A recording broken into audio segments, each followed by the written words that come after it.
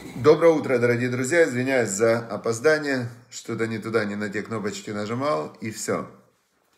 Так всегда, э, так всегда, значит, происходит в жизни. Так всегда происходит в жизни, что ты нажимаешь на какие-то кнопочки. Все время ты нажимаешь на какие-то кнопочки, делаешь какие-то действия, и потом у тебя получаются какие-то результаты. Иногда то, что ты ожидаешь, иногда вообще не то, что ты ожидаешь. Такая жизнь. И, в принципе, вся наша жизнь это заключается в том, чтобы научиться понять, э, какие надо делать действия, потом делать эти действия, и все люди в мире одинаковые, все ждут хороших результатов, все хотят, чтобы было хорошо, со здоровьем, в семье, с деньгами. Все люди, они мечтают, чтобы их ожидания выполнялись. В этом как бы смысл человека, человеческой жизни, что у каждого из нас есть набор ожиданий – а, от жизни. И мы ждем, что вот они исполнятся, и нам будет хорошо. Все, вот это вот вся, вот вся и жизнь. Теперь а, мы изучаем Тору. Мы изучаем Тору для того, чтобы, для того, чтобы изучая Тору, понять вообще, где мы находимся и что Всевышний от нас хочет. То есть это такой взгляд от Создателя мира, как инструкция да, по миру. Потому что каждый человек живет в каком-то своем э, сценарии, в каком-то своем сериале, которые ему дали те, кто его ввели в этот мир, родители, воспитатели. И дальше человек э, живет в этом сценарии и пытается в нем преуспеть. Но часто бывает, что не, чаще бывает, что не преуспевает. Вот, поэтому мы сейчас исследуем сценарий, который называется Тора, от Создателя мира. Я лично верю полной верой, что есть Творец мироздания, который создал мироздание, создал человека и дал этот сценарий говорит, вот, нате, пользуйтесь. Называется это Тора. Да, всем шалом, доброе утро. Теперь, значит, мы сегодня, мы изучаем по книге Хитас, Хумаш, это пятикнижие, Таилим, э, Псалмы и Таня. Вы можете скачать, вот есть ссылочка, если вы видите, прямо где-то написано слово Ваикра. Если вы на него нажмете, то вы сможете, вы сможете э, скачать прямо, вернее, подписаться на телеграм-канал, и там есть эта книжечка, по которой мы учимся. Значит, сегодня, а, до того, как мы начинаем изучать Пятикнижие, новую главу, сейчас мы находимся, новая глава, и «Жил Яков» называется эта глава. Значит, до этого есть две идеи Любавического рэба, которые вот очень интересные. Значит, первая идея, она о том, что предыдущий рэбе, один из э, любавических рэбе, Цемах Цедек его звали, он говорил учителям, которые занимались с его внуками. Говорят, что он им просил, чтобы эти учителя с внуками, отдельно это было дополнительное как бы занятие, изучали э, смысл слов молитвы. То есть он говорит, смотрите, человек молится иногда, да, но он не вдумывается в каждое слово, он не понимает. А, и вот он говорит, что вот возьмите слова, там, например, ну, самое главное слово в молитвах вообще во всех еврейских, это слово барух. Барух это благословен. Человек, он говорит, Барух Хашем, слава Богу, например, да, благословен Бог. А что значит благословен вообще? И вот он говорил учителям, чтобы они, в, изучая слова молитвы, именно простой смысл слова, а, когда ребенок изучает смысл слов вот этих, которые он произносит, глубоко, то он совершенно по-другому молится. Он как бы входит в слово. И, э, значит, вот слово Барух, например, благословен, что оно значит? Благословен это значит увеличение того, что ты благословляешь. То есть ты просишь, например, пусть будет благословен твой дом. Значит, имеется в виду, чтобы в твоем доме было больше хорошего. Или благословен Всевышний. Как ты его благословляешь? Чтобы в твоей жизни было больше связи со Всевышним. Теперь э, дальше. Сегодня тоже есть одна идея, я начну до того, как мы начнем э, изучать хумаш, пятикнижие. Э, я хочу сказать идею из Тани. Вот сегодня как раз седьмая глава, и я когда утром изучал как раз хитос, так поглубже, чем мы, мы вместе изучаем, я чуть старался поглубже узнать. Там было в седьмой главе э, была очень интересная одна такая идея, которая просто, я считаю, что это центральная идея вообще всего всего служения Всевышнему. Центральная идея, вот прям для меня это был сегодня прорыв просто такой, да, в понимании. А, там объясняется такая вещь, что человек, который ест кошерную еду, но его намерение э, при поедании этой еды доставить удовольствие себе, эта еда, она становится, не то чтобы она становится некошерной, но в духовном плане она этого человека опускает на более низкий уровень. Но если он ест кошерную еду с намерением э, служить Всевышнему, то есть если он ест э, э, то, что называется его все твои дела пусть будут во имя небес. В перте вот есть такая идея, чтобы все твои дела были во имя небес. И вот он садится кушать. Вот я сейчас, например, сел проводить урок, у меня есть кофе. Я до того, как я скажу благословение на кофе, я говорю, что мое намерение, чтобы это кофе дало мне больше энергии и сил, чтобы служить Всевышнему. То в этот момент этот кофе, он присоединяется, ну там, выводит меня на духовный уровень, на котором я до этого не был. То есть, э, когда у человека есть намерение в его действиях во имя небес, то эти действия сразу же становятся как, э, выводят его на духовный уровень. Когда он делает э, даже духовную работу, например, он молится, но чтобы про него плохо не подумали, или он э, кушает кошерную еду, просто чтобы нажраться, ну, вкусно ему, да, например, то он даже святые вещи может сделать не святыми. То есть, насколько сила намерения, она является определяющим во всем. И получается, значит, Борух Ато Адуино Элен Марахолом Шакони Абидоро. Значит, получается, что вот э, в хасидских сидурах есть перед э, выполнением заповеди, есть такой еще отрывочек, достаточно длинный, который начинается словами «Арени муханым изуман лекаем это мецва». Вот я, значит, готов и подготовлен, собранный такой, выполнить заповедь Всевышнего. То есть они настраиваются перед любым действием, а, на то, чтобы это действие перевело его к Всевышнему. Это очень важная вещь. И если вот я для себя сегодня утром подумал, что я сегодня буду перед э, любым практическим действием э, задавать себе вопрос, а как это связано с э, служением Всевышнему? И буду намерение формировать, чтобы, например, у меня будет какая-то там деловая встреча, чтобы эта деловая встреча принесла мне деньги, чтобы я мог лучше служить Всевышнему, чтобы я мог прославлять имя Всевышнего и так далее. Таким образом, можно любое свое действие вывести на уровень служения Всевышнему, что тебя, естественно, в духовном плане поднимает на следующий этап твоего развития. Теперь дальше. Дальше мы начинаем изучать глава Ваехи. Это глава э, Торы, значит, одна из последних глав, глав книги Берешит, первой книги Торы. И начинается она словами Ваехи Яаков Берец Мицраем, и жил Яаков в земле Египта Швайсра Шана, 17 лет. Значит, э, вот пришли Яаков и вся его семья пришли в Египет э, по приглашению фараона и его помощника, премьер-министра Йосифа. И, значит, 17 э, лет он прожил в Египте, Яков. Ваей Яме Яков, и было всего года в жизни Якова 7 лет, и 40 лет, и 100 лет. 147 лет. Значит, 147 э, лет э, прожил Яков. И приблизились годы жизни э, Израиля к смерти. Все, он уже подошел к смерти. Интересно, что он прожил 147 лет. Это было на 33 года меньше, чем прожил его папа Ицхак. И когда его спросил фараон, «Э, сколько же тебе лет, и он ответил, что плохие тяжелые годы моей жизни, то столько слов, сколько было в, в вопросе фараона и в ответе фар, в вопросе фараона и в ответе Якова, столько же лет он прожил, вот как раз 33 слова, 33 года он прожил меньше, чем Ицхак. И отсюда учится, ну хорошо, он то, что он пожаловался, что тяжелы были мои годы, ладно, за это можно снять. То есть, когда человек сам живет в ощущении, что ему плохо жить, понятное дело, что это снижает его годы жизни. Даже уже доказали это психологи, это психосоматика, да, то есть, если человек, он в стрессе, в такой, в депрессии, это, конечно, ухудшает его здоровье. Но почему за вопрос фараона снизили ему?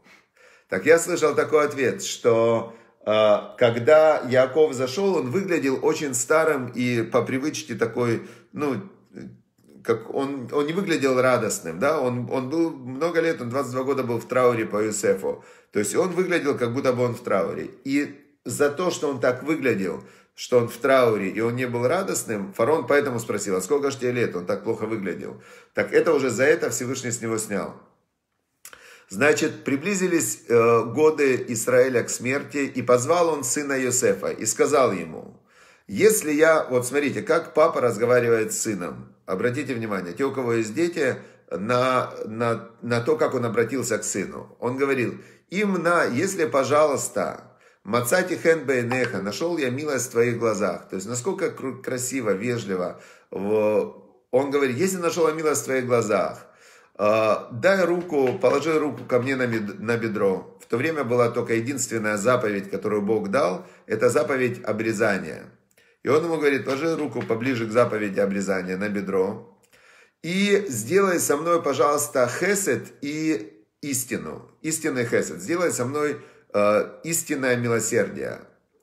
Э, пожалуйста, не хорони меня в Египте. Так он его попросил. Значит, э, попросил он и, и что?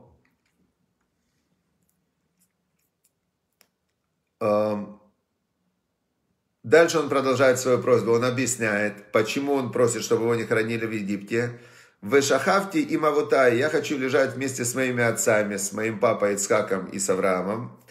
«А, в Насатане Мимицраем, вытащи меня из Египта, вынеси меня из Египта. У Квартане Быквората, и похорони меня в их, молит, в их могиле. То есть Яков, как мы знаем, он похоронен в Марата Махпела, в Хевроне, в пещере праотцов. Значит, Вайомар, и сказал ему Йосеф, Анухи эсек двореха. Он говорит, я сделаю, как ты сказал. И тут тоже я вспоминаю комментарий Равыцка Казильбера, вот насколько важно учиться у великих праведников, потому что каждое их слово, оно прям врезается в память, не знаю почему. Мне этот комментарий очень врезался в память. Он говорит, когда Иосиф ему сказал, я сделаю, как, твои, как ты сказал, и он перелистывает, э, значит, несколько глав, и там, когда Иосиф умирал, и он сказал своим сыновьям, значит, э, сказал своим сыновьям, э, вынесите меня, когда Всевышний вас вспомнит и выведет из Египта, то вы же меня тоже заберите и похороните меня в Израиле. И когда он сказал отцу, я сделаю, как ты сказал, он имел в виду не только то, что я сделаю сейчас, как ты меня попросил, а он сказал, когда я буду умирать, я сделаю, как ты сказал, а не эсэка двореха, я сделаю точно, как ты сказал. То есть это очень э, важная вещь, что мы у своих родителей мы учимся и хорошему, и плохому. И когда родитель, он говорит что-то своему ребенку, то он на него как бы накладывает вот эту модель. И э, осознанные люди, да, как Йосеф, он знал, что его папа великий праведник, который э, со Всевышним, он с ним, он получил имя Израиль, да, э, Израиль прямо к Богу. И, значит, он ему говорит, я сделаю точно, как ты сказал. Раз ты так сказал, значит, я так же сделаю. Хорошо. И дальше вдруг странная вещь. И сказал дальше Яков. Тот ему говорит, папа, я сделаю, как ты сказал. Что ему отвечает Яков?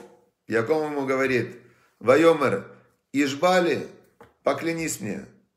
Что он ему не доверял своему сыну Йосефу. Йосеф его называли Йосеф праведник. Зачем папа сказал ему поклянись мне? Ваишавало, и он ему поклялся. Ваиштаху Израиль аль Роша Мета. И поклонился Израиль к изголовью своей кровати. Почему он э, поклонился? Поклонился он, здесь есть два объяснения. Первое объяснение, что э, Йосиф уже был царь, да, и он ему поклонился как царю. Второе объяснение, что когда больной болеет, то у него есть божественное присутствие рядом с ним – и он поклонился божественному присутствию. Два таких объяснения. Но возникает вопрос, почему он его попросил поклясться? Почему он его попросил поклясться? И тоже я слышал это от Равыцка Казильбера Зацаль. Он говорит, вы знаете, говорит, э, была такая, была такая ситуация, была ситуация, когда он жил в Казани, что, значит, был там один врач, очень хороший врач. Его все любили, его все лечили. Он был лучший врач в Казани. Он был еврей. И у него жена была еврейка. И вот жена умирает, а он главврач какой-то очень важной больницы. И тут прибегают все руководители города, партийные там все эти самые, партийные все власти. И говорят там, э, не помню, как его звали, этого врача, «Э, все, мы вас так уважаем, мы вашу жену сейчас похороним по нашим советским законам в лучшем виде. Ему неудобно сказать, что она до конца жизни была соблюдающая, и что она хотела, чтобы ее хоронили по еврейским законам. И он не знал, что сказать, замешкался, и ее похоронили по советским законам, не по религиозным, не по еврейским законам, что было огромным страданием для него. И он уже тогда, когда он умирал, он своему сыну сказал, сынок говорит, поклянись мне, э, что ты меня похоронишь по еврейским законам. Сын ему говорит, а зачем кляться, папа, я тебя и так похороню. Он говорит, не для меня клянись. Ты не, э, у тебя вокруг, когда я умру, тоже придут люди, скажут, скажут, э, чтобы ты хоронил по советским. Тебе будет неудобно сказать, потому что в советское время сказать, что ты живешь по религиозным законам, это было подписать себе как, как смертный приговор. Он говорит, э, скажи, что папа взял с меня клятву. Тебя же не заставят нарушить папину клятву. То есть все на меня вали. И когда Яков сказал ему поклянись, он это сделал не потому, что он не доверял Юсефу, а чтобы Юсефу было что сказать фараону. Чтобы Юсеф сказал фараону, «А, ясное дело, что фараон предложил бы похоронить Иакова в лучшей пирамиде, потому что все знали о его высочайшем духовном уровне. Когда он пришел в Египет, то прекратился голод, а, Нил поднялся навстречу Якову, то есть он был, все понимали его высочайший духовный уровень и связь с Богом. И фараон сказал бы Иосифу, слушай, Похорони, значит, похорони его, похорони его, значит, в пирамиде у нас здесь в Египте. И тогда Юсеф ему скажет фараону, уважаемый фараон, а вы понимаете, он 70 лет был вторым человеком в государстве. И сколько на него писали доносов в гадости, сколько пытались его свалить э, другие люди, вы не представляете, сколько. Это была конкретно против Юсефа война всех вот этих вот, которые были вокруг фараона. И э, нужно было настолько выстраивать отношения с фараоном, чтобы фараон ни на секунду не сомневался в преданности и в честности Юсефа. И поэтому Яков попросил Юсефа, поклясться, чтобы Иосиф потом сказал фараону, я дал клятву отцу, отец меня попросил поклясться. Только поэтому я сейчас делаю не как сказал фараон. Ну, фараон же не заставит его нарушить клятву. Потому что если э, фараон верит в честность Юсефа, как он может ему сказать обмани папу, нарушь клятву? Никак. И вот эта клятва, которую взял Яаков с Юсефа, это была клятва, чтобы помочь Юсефу похоронить его в Израиле. Настолько он это все предусмотрел. И было после этих событий, то есть он заранее, а, Яков это все организовал, взял с него клятву, но еще не умер, то есть еще после этого прошло время. И было после этих событий, и сказал, сказали Юсефу, все, твой папа болен, и, значит, он уже в, приближается к смерти. Так как папа жил далеко, Иосиф взял своих двух сыновей и приехал, а, приехал к, землю Гошин. Значит, а, как раз здесь Раша нам объясняет из устной Торы, что Ифраим все это время жил с дедушкой и учил у него Тору. И, значит, когда заболел э, Яков, и, та, и именно он поехал к Юсефу, сообщил, что Яков заболел, и Яков с Минашей приехали туда. Зачем он взял двух сыновей? Чтобы Яков их благословил перед смертью. И сказали Якову, что вот твой сын пришел, значит, Иосиф идет к тебе, Собрался он с силами Израиль и сел на ложе. То есть он сел на своем ложе, заходит Йосеф, заходит с ним два сына. И сказал Яков Йосефу, а, значит, а, сказал он ему так. Эль Шадай, Бог всесильный, Нирай Лай Белус, который показался мне в городе Луз, который открылся мне в городе Луз. Берец Кнан, земле Кнан, Ваеварех Ути, и он э, меня благословил. Значит, сказал он ему эти слова. И теперь он передает, э, передает эти слова, которые Бог ему сказал. В чем было благословение? Благословение было в следующем. Вайомер. Вайомер Лай, сказал он мне Бог. И ныне Мафреха, я тебя сейчас делаю плодовитым. Вырбисиха, я тебя размножу. Вынататиха лека алямим, сделаю тебя множеством народов. Венататеет эрец азот, и дам я тебе эту землю, лезареха, для твоего потомства, ахарейха после тебя, ахузат алам, а, значит, вечным а, владением. А, и, то есть, Яков сказал, что вот именно вот это благословение, которое я получил от Бога, я хочу сейчас передать тебе. И дальше он продолжает. И вот твои два сына, которые родились у тебя в земле Египет, они э, мои, они, он говорит, они мои, Эфраим и Минаши, они для меня как Реувен и Шимон. То есть он сказал, что твои сыновья, Юсеф, они стали для меня на уровень моих сыновей. То есть он их поднял. Это не мои внуки, они мне как сыновья. И, значит, те, которые будут у тебя после этого, они уже будут э, в колене Ефраима и Минаши. То есть будет как Яков поднял сыновей Юсефа на уровень своих сыновей. Так он сделал. Не будем сейчас сдаваться, зачем он это сделал. И дальше он ему объяснил одну вещь, которая для Юсефа была большой травмой. Смотрите. Значит, э, у Юсефа мама была Рахель. И когда они зашли в землю Израиля, то она умерла.